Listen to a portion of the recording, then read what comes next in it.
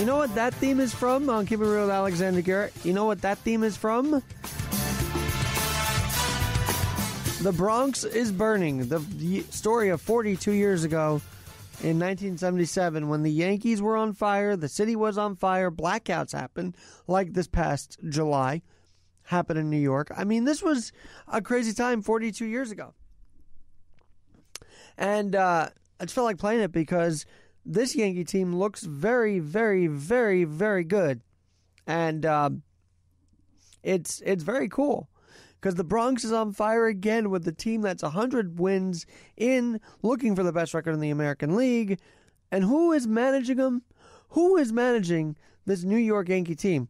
Well, I'll let John Sterling and Charlie Steiner tell you. Now we're tied at five as we go to the bottom of the 11th. Here's Aaron Boone to lead off. His first at bat of the game. There's a fly ball deep to left. It's on its way. There it goes. And the Yankees are going to the World Series. Aaron Boone. That's right. Aaron Boone with the big homer in game seven of the ALCS in 2003. Well, I wonder if people thought that'd be the only history that he'd make because obviously he hurt his I think he's tore his ACL or whatever playing basketball, ended his baseball career after this amazing walk off, led the way to A Rod. But guess what? Aaron Boone is once again in pinstripes. If you haven't noticed, he's been leading this team through injury, through bad umping at times, through anything possible to a solid 100 plus win year. Uh, 100 win year so far. Last year they got to 100. It was a very different kind of 100. This year, without Stanton, without Judge, without Urshela, without well, without uh, Didi at times too. Guys like DJ LeMahieu, guys like that, uh, like Gio Urshela, guys like, of course, Gleyber Torres, Gary Sanchez, and uh, Cameron Maybin to a point, and without Aaron Hicks, Gardy as well, and so all these different talents have been contributing to a hundred win season. And if you thought that homer was indicative of the career of Aaron Boone's playing career, well, it's a very big moment. But how about his managing career? Because according to Bryan Hoch, here on Keeping with Alexander Garrett, according to Bryan Hoch, the second year manager for the Yankees, who, as I mentioned, led them to 100 wins last year, well, he made history again last night. Because by clinching 100, the 100th win of the year, back to back years, he became the first manager ever in Major League history to win at least 100 games in each of his first two seasons. So Aaron Boone from that homer, wow. And then Aaron Boone with the 200 win seasons or more. Congratulations, Aaron Boone. And, and it's very cool that Mayor de Blasio, Mayor Bill, who happens to be, by the way, a big Red Sox fan, he actually congratulated the Yankees. And uh, he said, and it sounds like he's been following the team. Uh, of course, he's the mayor of New York, but he's been campaigning everywhere uh, with a failed presidential run. That being said, what he said was really intriguing to me. Because he said today, after the Yankees clinched the division last night, he said this Congrats to the Yankees on clinching the AL East. I gotta admit, they overcame a lot of injuries and put together an incredible season. So this is a Red Sox fan praising the Yankees. And I just say, hey, Mayor Bill de Blasio, attend the playoff game since you've smartly dropped out of the race for president. Be part of New York, Mayor Bill de Blasio. Be part of it. Experience October in the Bronx with your fellow New Yorkers that you love to talk about all the time. Well, in October, for 21 of the last 25 postseasons, there's been a baseball game in the Bronx. For 21 of the last 25 postseasons. For the Yankees and Major League Baseball and, and the Bronx. So I said, come on, Mayor. Be part of this and be part of the atmosphere of October. It's your city. You have to be there. Bloomberg was a Red Sox fan, but he was there. Rudy, of course, was Rudy, and he uh, he's there almost every game still. Sometimes, but because you're dropping out of the race, Mayor Bill, come to a game. See how fun baseball in October is in New York, and just get over that. You're the mayor of the city for another term, as of a couple of years ago. Embrace everything about the city, including the fact that the Yankees, for the 21st of 25 years, have made the postseason. But they do it convincingly this year. No wild card game, straight to the playoffs as a division winner. Come on. And yes, you had the uh, Germán, Domingo Germán disaster terrible situation there. He's on administrative leave. Won't pitch the rest of the year, by the way, including the postseason, because slapping his girlfriend in the public eye. Oh, and by the way, in front of a commissioner, official of the Major League Baseball office. An official, not Commissioner Manfred. So Germán's gone, and I can't imagine what a topsy turvy 24 hours or 48 hours it's been in the Bronx. Remember, they had an emotional ending for CC Sabathia in uh, on Wednesday night after four innings when they took him out in the final home regular season start for CC Sabathia, who is retiring at the end of the year. Then you had to try and win the game. You lose three to two. You're in that clubhouse till the Rays Dodgers are done in the wee hours of the morning, Thursday morning, only to see the Rays winning, setting up another chance last night, and the Yanks do it homers by DJ LeMahieu, Brett Gardner with a couple RBIs. I mean, this team looked like it's supposed to last night for a convincing win number 100, a convincing 100 plus win year. So, Mayor Bill, put your gripes aside that you're a Boston fan in New York, whatever. Go to the game. Go to a postseason game, Mayor Bill, because if you're really going to be back in the city, be back in the city. No more seven hour work week. No more shunning Yankee Stadium. Be at the stadium whenever you can and enjoy it. Enjoy it. This is October. This is baseball. This is the best part of the year. Opening day is great, but this part of the year, when you hit postseason, the fall crisp weather, man, it gets my blood excited just thinking about MLB postseason back in the Bronx. And it should get your blood boiling too and excited as well. So I guess I take the podcast waves and say, hey, go to the stadium, Mayor Bill. It's time. Put away your grievances with the Yankees. Experience October with all of us here in New York. Be a true New Yorker. Be a true New Yorker. And and work with Donald Trump. Work with President Trump.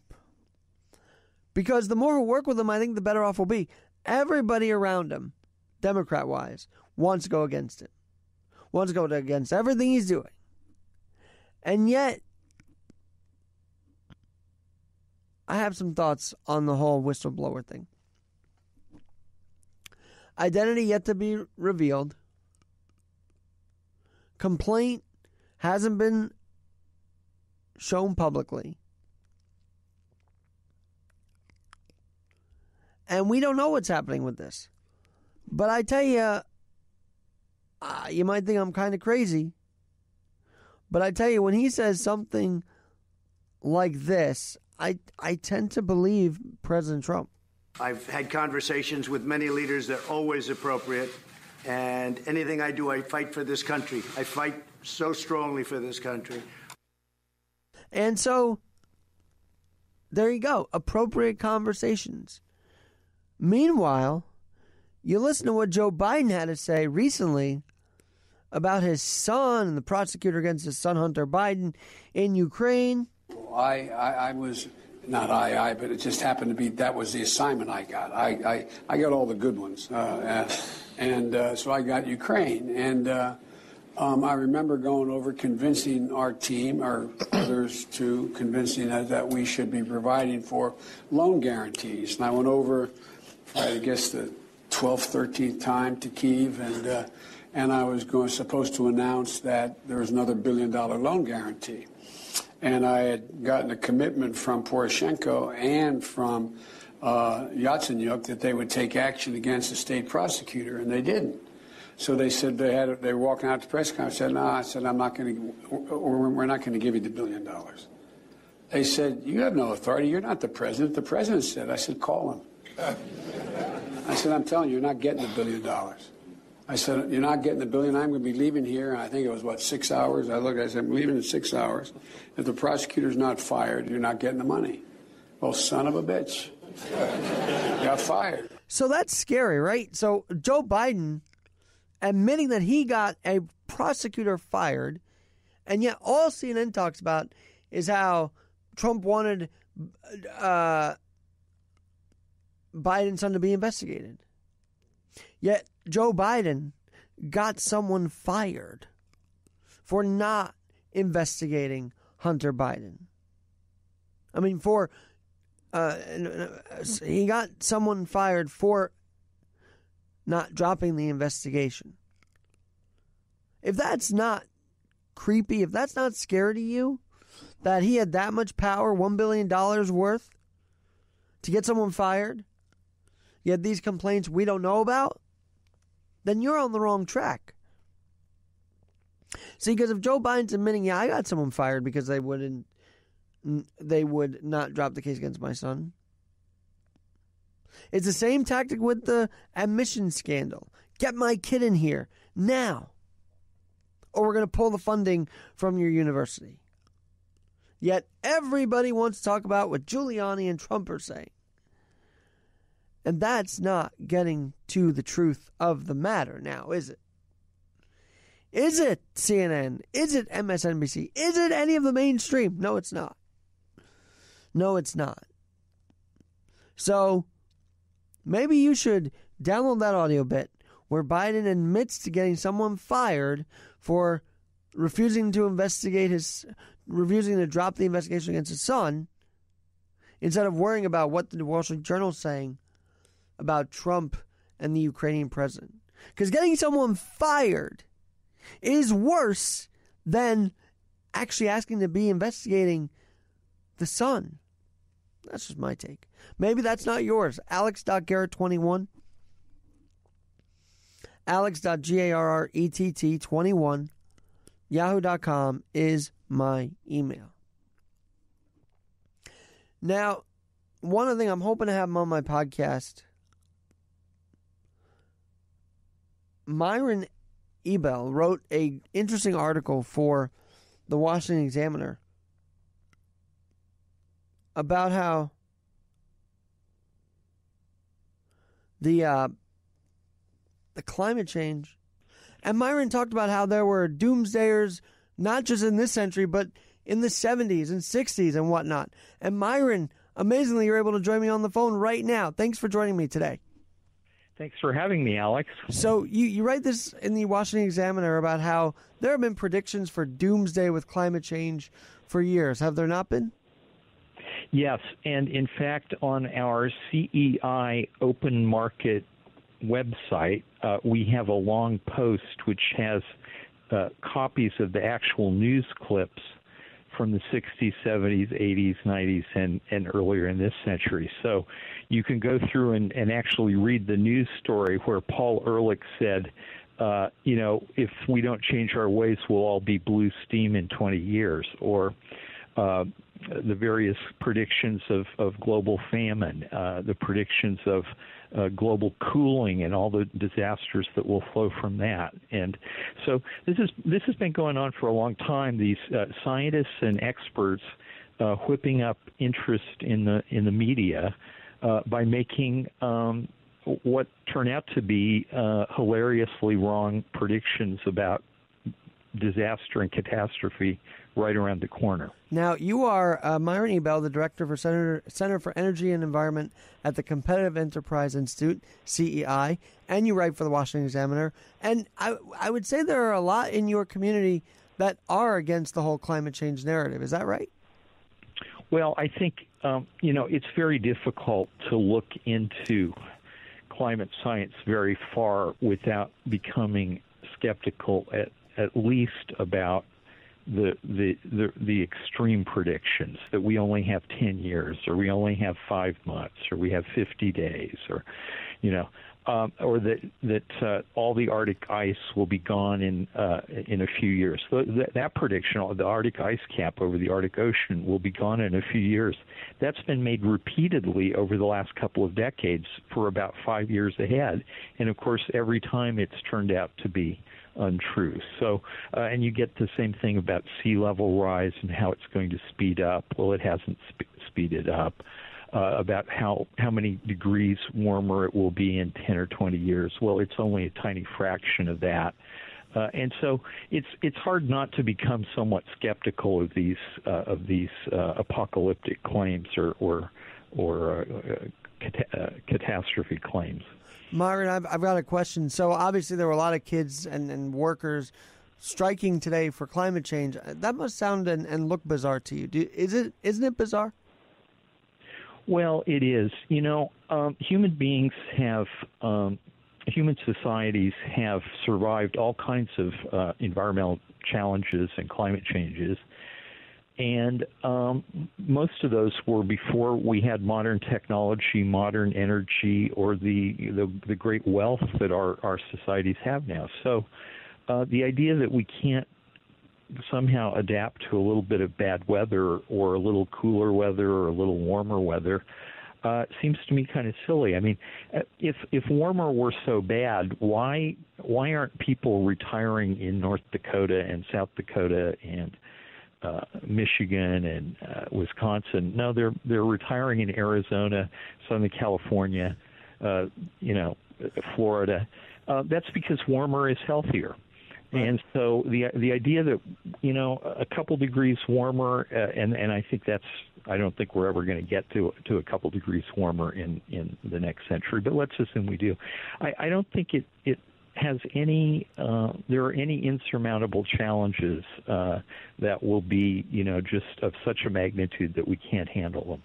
Now, you are a scientist as well, so do you get pushback yourself when you write these no. articles? Oh, hang, hang, hang on, Alex. I'm not a scientist. No, no. We do have a scientist now on staff for the first time. Uh, we Wow. we brought on board uh, a, a very well-known climate scientist named uh, Patrick Michaels, uh, and he, in fact, is in New York uh, or, or on his way to New York.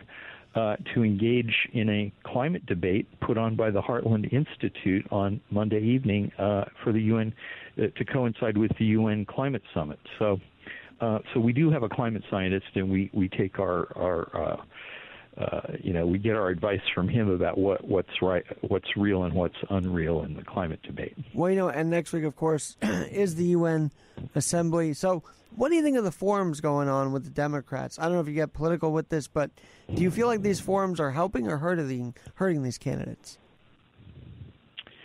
Well, uh, I, I have I have to stay out of electoral politics. I work for a nonprofit group, and I I can't campaign for anyone. Un- but let me understood. say, first of all, this there was the CNN town hall, which lasted seven hours, and now there's the George. This week there's the Georgetown University and MSNBC uh, climate forum, which lasts two days. So CNN gave each candidate 40 minutes. The the Georgetown one is giving each candidate, and they've invited quite a few more, uh, is giving each one an hour. Uh, I'd say, first of all, if you want to drive CNN's ratings any lower, uh, then uh, the the climate town hall was the way to do it. Uh, it was incredibly boring. Um, most of the people, uh, almost all the time, had no idea what they were talking about. And um, as far as whether it hurts or helps, well, I think uh, their campaigns. It seems to me that uh, some very radical um, Absolutely. uh, uh, programs for addressing climate change have been proposed, and if you if you tot up all of the predicted damages from global warming, uh, it's less in, in dollar terms than the cost of some of these programs. So, uh, you know, in this case, this is one of those cases where I think the the uh, prescription that is being offered for solving the the problem is actually worse and more expensive than the problem. It will do more damage to our society uh, in terms of making us poorer in removing access to energy for that we use for heating and cooling our homes, lighting lighting the, uh, all of our buildings, and uh, transporting us around uh, uh, the country. It will do much more damage to all of those things than uh, a bit of global warming will. So even even a lot of global warming will. So so it's funny. It's it's it's uh, from a cost benefit perspective, we'd want to take the the climate damages rather than the policy damages. And and uh, so it's true. Now, if if if people really thought and looked deeper into this, are you that they wouldn't be marching? I mean, I don't think they would be anyway. But I feel like people who are marching today and over the weekend just are kind of blind to the other side and don't want to see that other side of how much harm a Green New Deal could be to this economy and whatnot. Yes, I think though a lot of the marchers are very well intentioned. I think some of the leaders and some of the uh, the thought leaders and, and also some of the political leaders are are less well intentioned. I think that their their motives can be questioned on several grounds. Um, you know, one, uh, you know, I work for a free market group. We're very uh, kind of libertarian and conservative, and right. uh, we like we think that the uh, the answer to a lot of our problems is less government. Uh, uh, and less government spending and less government, particularly less government regulation and control over the market and over people's lives. Whereas all of these programs, uh, if you get right down to it, they're almost all about increasing the size of government, increasing the regulatory scope of government, and really becoming very intrusive uh, into pe- how people live their lives, what kind of energy they can use, how much energy they can use, whether they can own a car, what kind of car, that kind of thing. So, uh, you know, I, I, I do, I do think the people marching are well intentioned, but I don't. Uh, I, I, the the leader, the movement leaders, I think less so.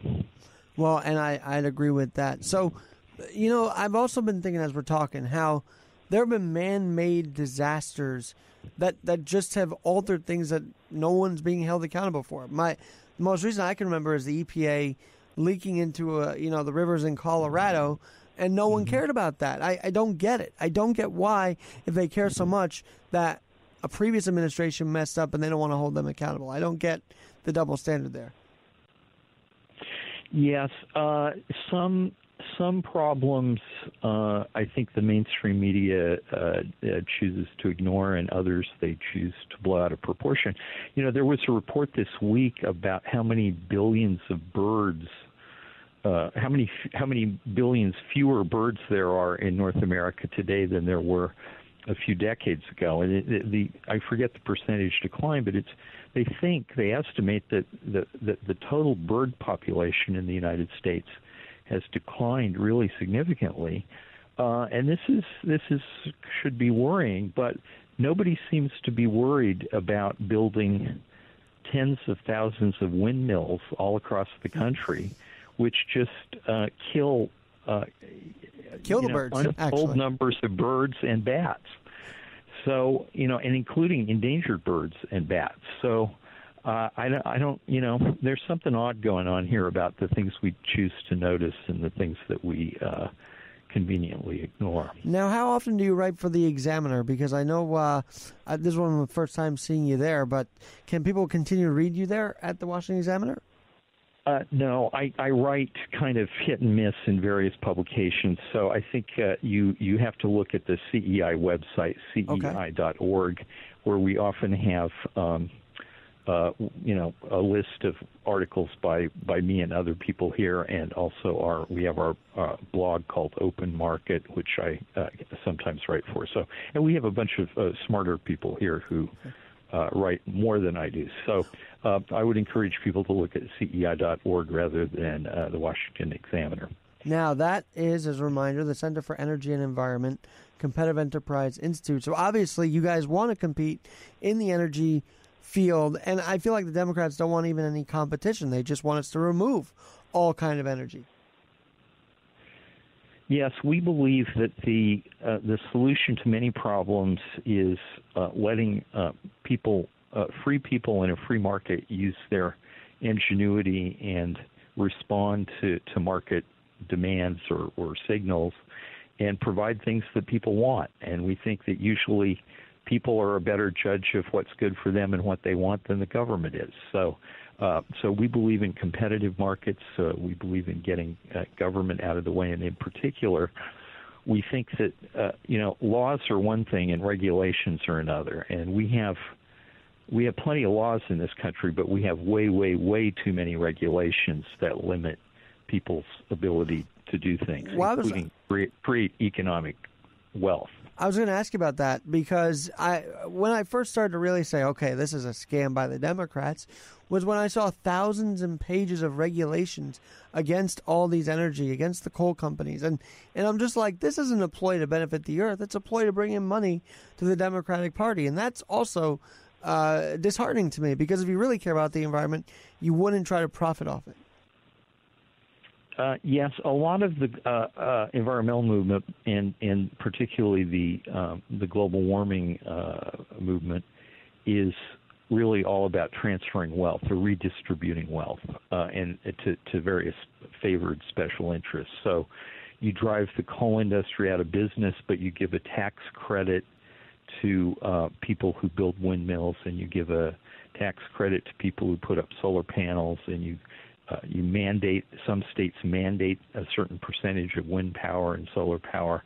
Uh, there, there's no federal mandate, but there is a federal mandate for ethanol uh, rather than using uh, gasoline, which you know. Uh, you know, I have nothing against ethanol, but I don't think it should be mandated. I think uh, people should uh, decide whether they want to buy a product uh, with ethanol in it or one that's all gasoline. And uh, so, I, you know, I, I just think, uh, yes, well, I, Alex, I'd agree with you that there's a lot of special interests involved in this uh, in this great uh, global warming uh, movement.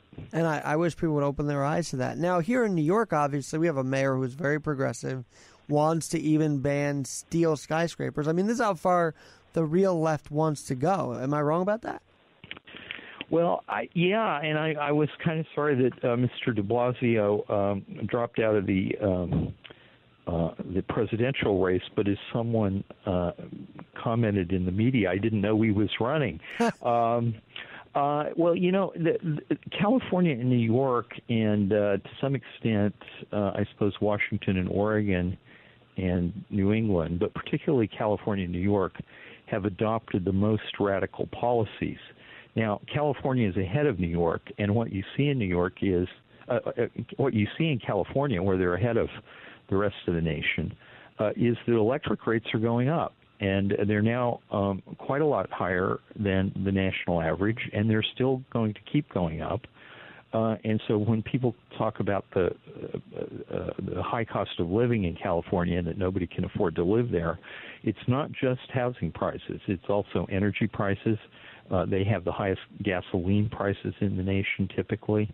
Uh, maybe Hawaii and Alaska are, are higher, but uh, the lower 48, California is usually the highest.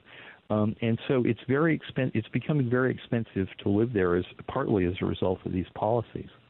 Now I'm just looking up um, Myron Ebell, and it says that you were part of the then Republican uh, presidential candidate Donald Trump's transition team for the EPA. What was that like, if you don't mind me asking?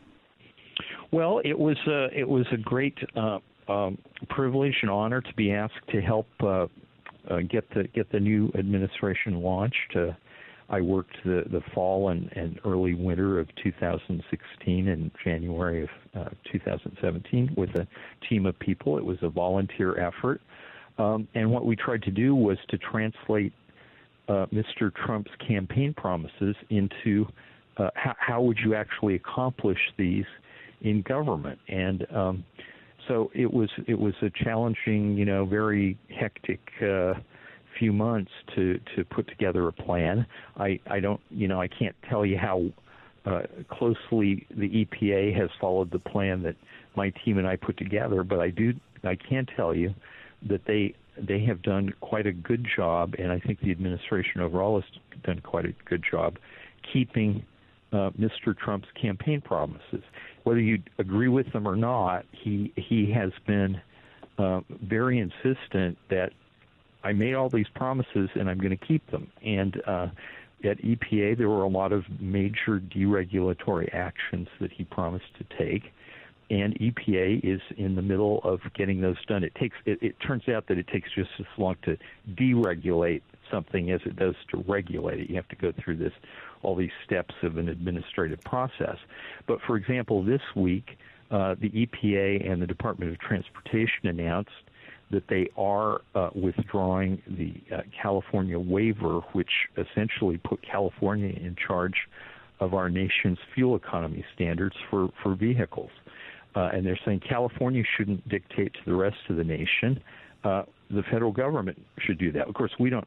We're not that keen on fuel economy standards here at CEI, but as long as they're the law, uh, they, it's, it's a federal matter, not one state telling all the other states. So that was a Trump campaign promise, and they're keeping it. So, uh, so I, you know, I'm going on too long. No, you're I, I doing it. Get... This is this is great because I feel like not many people are hearing this side of the story anywhere else. So I'm glad I got you on to talk about this because obviously the emission standard. I don't know much about it, but I know that if a state tries to dictate that, that can't be good for anybody. So what he's doing with that is is really remarkable. Yeah, yeah, and and you know he said I'm going to get rid of the greenhouse gas rules for power plants, um, uh, which are killing uh, the coal industry and uh, uh, making it eventually will r- raise electric rates, and you know he's doing that. Uh, that, that the EPA is doing that uh, at the Department of the Interior, which is in charge of the federal lands and and off, uh, uh onshore and offshore uh, energy production on federal lands and offshore areas, the Department of the Interior is moving um, expeditiously to uh, to uh, open more land and more offshore areas to oil and gas production. Uh, they've removed the moratorium on coal uh, leasing, and you know these uh, the, the federal lands. Uh, people out people in this part of the world forget that out west, more than 50% of the land is federally owned.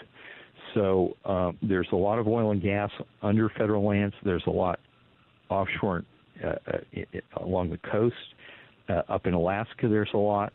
Uh, and so they are they are uh, again fulfilling President Trump's promise when, in the campaign that we are going to become America's energy superpower, but by unleashing uh, our our energy industry. And so that's another, I think, uh, important promise that that uh, is being fulfilled. I've also heard that there are some, you know, reserved reserves on, under the Atlantic Ocean, and no one's tapping into that either. So that they, they have to do all that now.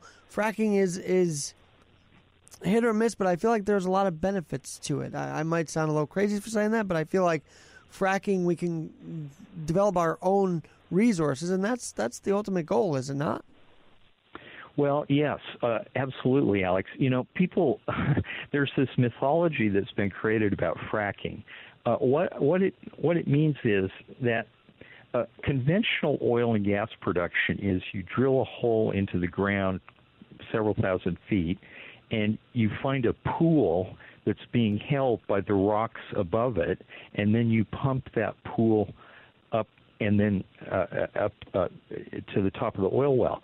Uh, fracking is a combination of two things: hydraulic fracturing, which is a um, a technique of uh, of increasing uh, the flow rate of of a, of a well, which has been used since 1949. It's been done millions of times in this country and all around the world. With horizontal drilling, that is, you drill down and then you drill horizontally, and by combining those two technologies, you you can actually get oil out of the shale formation, out of the rock.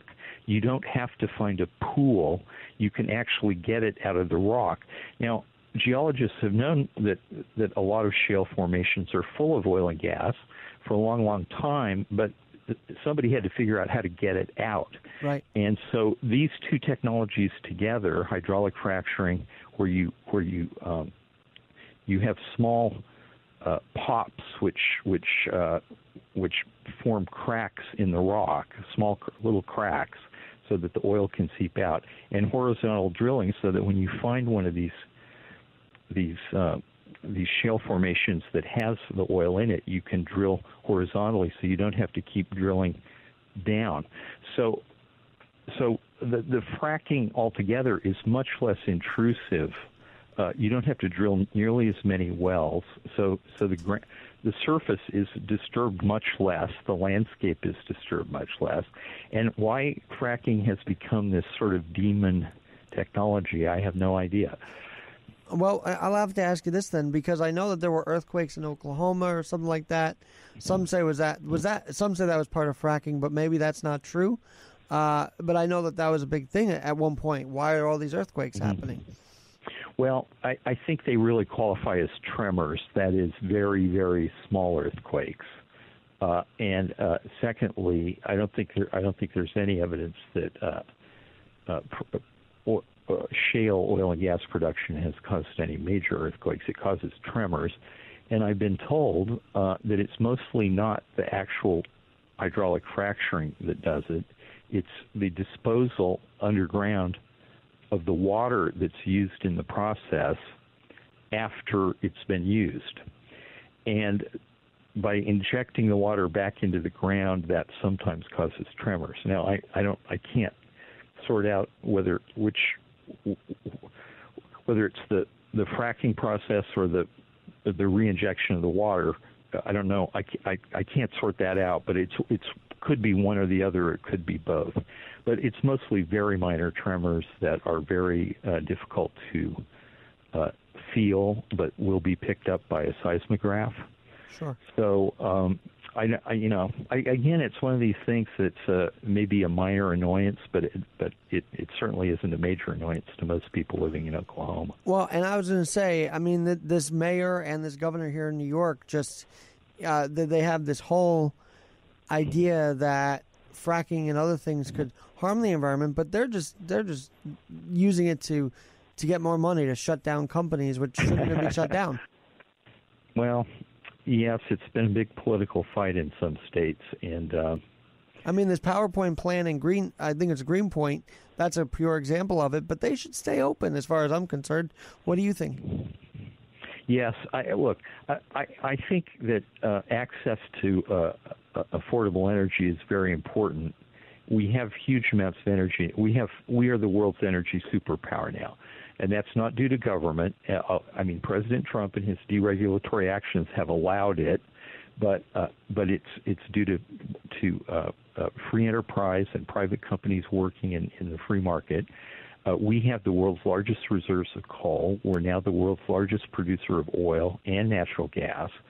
Uh, and we have uh, tremendous reserves of, of oil and gas. And so um, the idea that we should put that you know New York should go on an energy diet uh, and make people poorer uh, by raising energy prices and restricting access to energy. I mean, for example, this idea that you're going to not build a natural gas pipeline so that people, uh, so that the uh, utility can't hook more people up to natural gas. Well, if you build a new house or a new a new building, that means you're not going to be heated by the most economical right. and and and cleanest way to heat a house which is natural gas. So i you know i i just don't think energy diets are are that good and i actually don't think they're that popular. I think i think there's a lot of um concealment involved in the consequences of these policies i don't think the people pushing these policies talk uh, openly with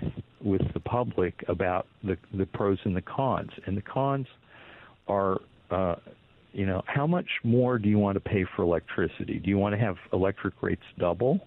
Uh, do you want to have gasoline prices twice as high? I, you know, I, I, I think you know that's the kind of conversation that would lead to, to policies that uh, that people uh, were more were happier with and and hopefully CAI, CEI could drive those conversations because not many are driving a conversation toward, hey, these deregulation policies are working and, and all that. We need more of those voices. And now you probably have the analysis on this.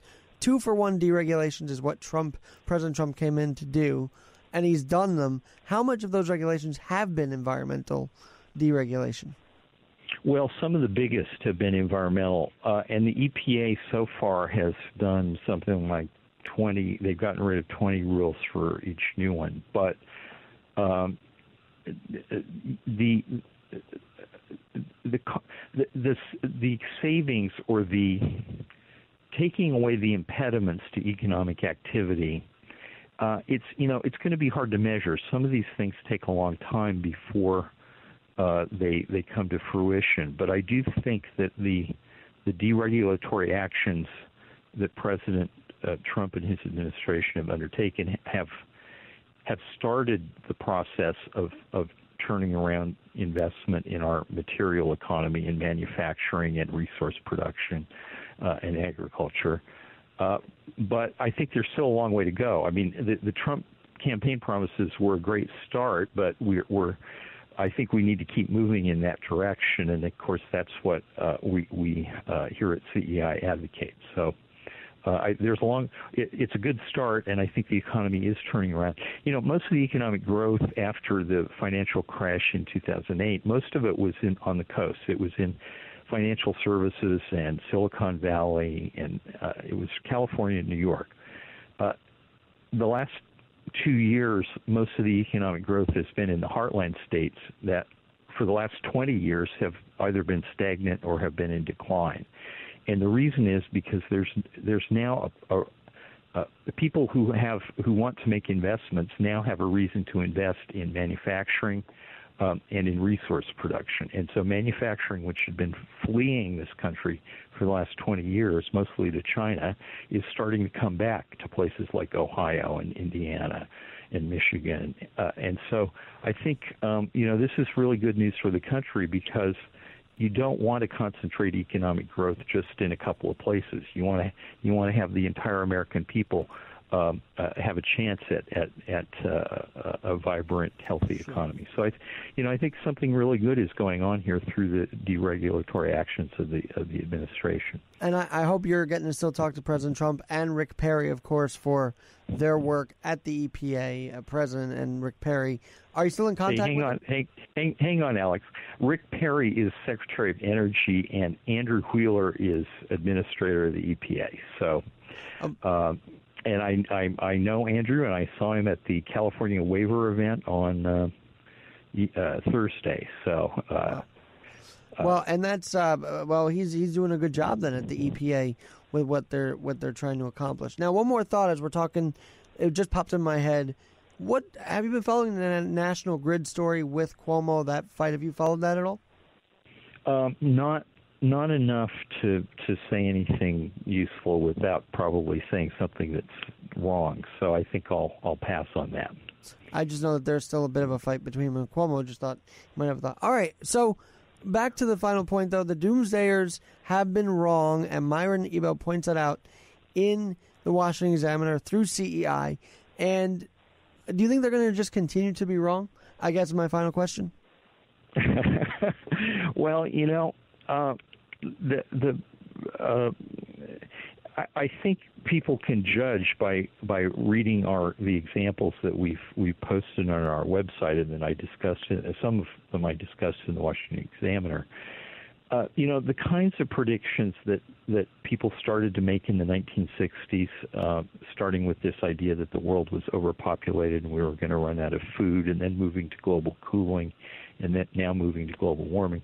They're also similar um, and they've all been wrong. So the question is, if they've been wrong for 50 years, are the same kinds of predictions likely to be true now? Um, and my bet is that they're not, but I can't prove that. Uh, but my guess is that uh, just as the, the the doom doommongers and doomsters were wrong in the 60s and 70s, they're just as wrong now in the teens of the 21st century. And it's amazing how history is repeating itself. And I'm sure you've been against the global warming argument for a long time. uh, during those years as well, right? Well, yes, I've I've been fighting for for sensible energy policies and, and against global warming alarmism now since about 1997. So it's it's a long slog. Well, can we have you back on to discuss what happens at the UN next week? I'm sure you'll be following. The whole world will be following at that point. So let's bring you back on to discuss it.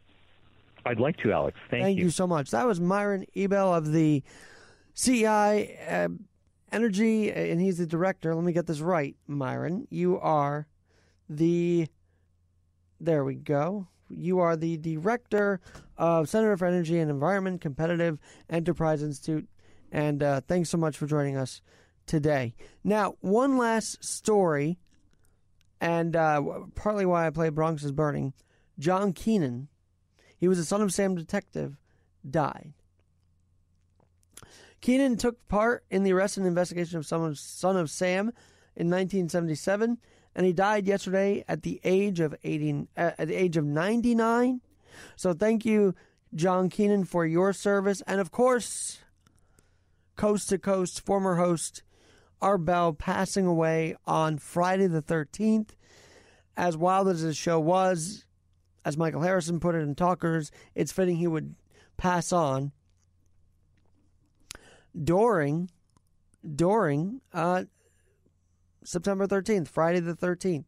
So we will miss both of them, and both have made such an impact. I'm Alexander Garrett. Let's see if the Yanks stay hot. Let's see if the mayor goes to the stadium for the playoffs. And let's see if we can continue to deregulate and put less strain on energy in our country. Thanks to Myron Ebell for joining me on the fly today here on Keeping It Real with Alexander Garrett.